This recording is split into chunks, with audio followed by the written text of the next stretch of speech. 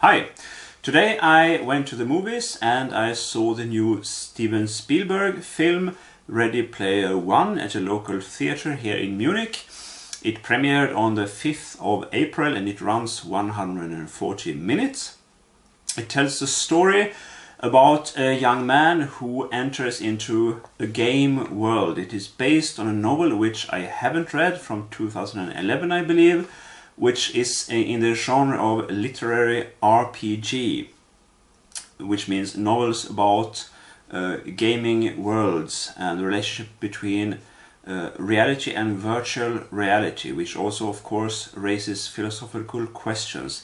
They are in the movie but very hidden. There is one scene which I thought was interesting where one of the characters thinks he is in the real world but he discovers that he is actually in the gaming world after a while.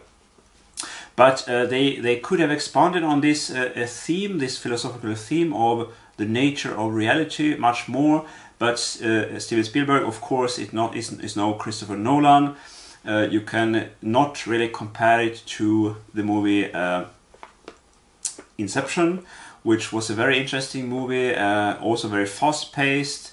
Uh, uh, and an exciting and interesting and good looking thriller, but also very philosophical. Uh, Steven Spielberg is a visual director, he's not a character director, and he's not a philosophical director, unfortunately. So they didn't do very much with this uh, topic. They could have done much more. But still, I was uh, thoroughly entertained. There were just a few scenes which I thought were dragging a little bit. The movie is very fast paced. It looks very good. It was very expensive. It is cost 175 million dollars. You can see it also. Everything looks very good, and it's also a very nostalgic movie because there are a lot of things from uh, films and also games. I'm not a gamer myself, so I'm not really uh, familiar with this, but I of course have seen a lot of movies from the 80s or uh, late 70s and 80s and uh, uh, characters from these movies and also objects from these movies appear in this film, which is fun to see so many of these things from earlier movies come together in one movie with a new topic, with a new story. For example, you have the car from Back to the Future, you have King Kong in there, you have Batman in there, you have the, the Overlook Motel from The Shining in there, it's a fairly long scene even, and a lot of other references to older films, which it's a, a nice touch to it, uh, this nostalgia, and at the same time a new and interesting concept, and this play with, with reality and virtual reality, although uh, it didn't really have the depth I was looking for, or which I would have wanted from, from a movie with such a subject. What I can also pr uh, praise the movie for a little bit uh, is actually the psychology. I thought the characters were somewhat deeper that, than I had expected.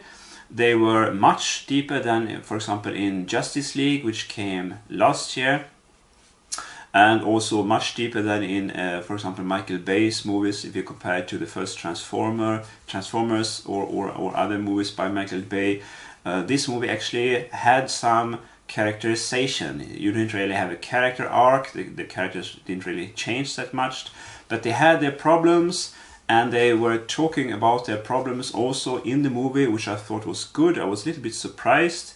Uh, of course, it's not a character study, but there was more uh, character uh, in there than I had expected, and I was actually pleasantly surprised. Then to the negatives, uh, the main problem, of course, are the villains. Like in most uh, uh, action movies, they were uh, really flat and also fairly boring. I thought in this movie. What also was boring was the scientist who created this game, who was really boring and not also seemed more like a junkie in, in most uh, action movies where scientists appear. They are like the comic relief of the movie and are made to be crazy or, uh, or very over the top. But this scientist was more like a junkie, talking very slowly. He seemed really stupid. Of course, he was also a cliche. He had uh, problems uh, talking to women and so on. Uh, uh, and but they, they, could have done more with this character. At least made him intelligent, which obviously he was not. So I was a little bit disappointed with this aspect of the film because he has quite actually quite a lot of screen time.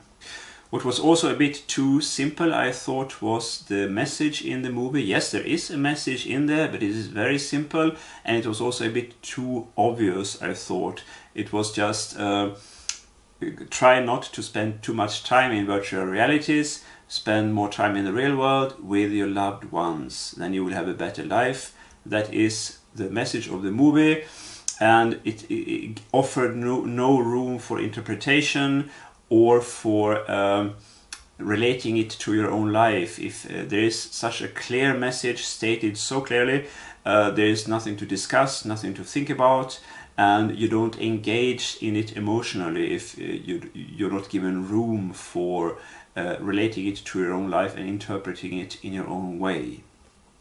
But I was uh, pleasantly surprised by this movie. I was thoroughly entertained. It was a fun experience. I will not see this movie again, but I don't uh, re uh, regret having seen it. It was nice. And uh, if you're into science fiction, uh, if you're into action movies in general, uh, and if you uh, have, like me, seen a lot of movies from the 80s and like to go on a nostalgia trip to see a lot of these objects and characters come together in a movie, then I recommend this film to you. If you are a hardcore uh, SF philosopher, uh, I would perhaps uh, rather suggest you to that you uh, watch Inception one more time rather to go and see this film. Thank you for, for your attention. Please give me, your comments below what you thought about this little presentation. Uh, give me a thumbs up if you like this. And of course, you're free to subscribe, and I will talk to you soon again.